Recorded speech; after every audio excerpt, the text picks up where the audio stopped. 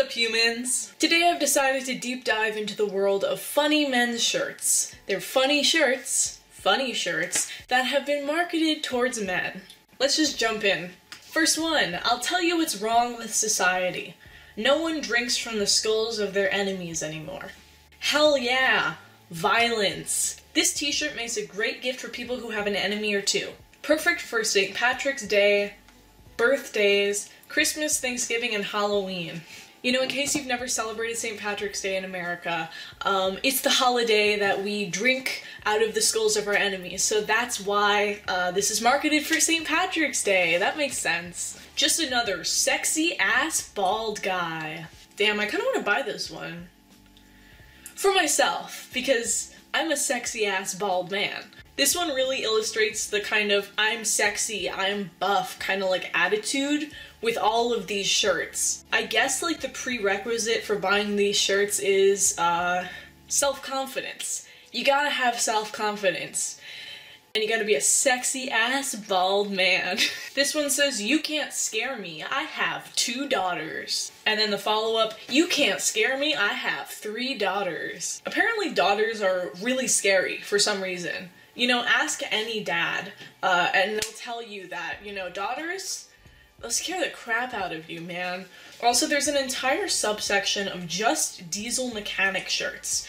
Pretty high up in the search results, like first or second page. So I guess it must be a hilarious job for it to show up under, you know, funny men's shirts. Let's check it out, better be funny. I love the smell of diesel in the morning.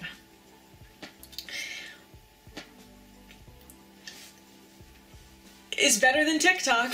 I'm a diesel mechanic. I can't fix stupid, but I can fix what stupid does. Okay, here's another. Horsepower is how fast you hit the wall. Torque is how far you'll bring the wall with you. Torquing. Is that what Nicki Minaj does, right? Torquing? Torquing. Somebody jail. Somebody jail right now. I'm a grown-ass man, and I do what my wife wants. Haha, yeah. Stupid women my wife sucks. Bro, what is up with the I hate my wife humor? It's not that hard to respect your partner, my god. She wants the D. That's exactly what I want from my partner, you know, just a just a dead ass bleeding deer. Exactly. So romantic. Oh my god. Oh, here's another hunting themed ones. Hey vegetarians, my food poops on your food. Sounds like such like a kid insult for some reason.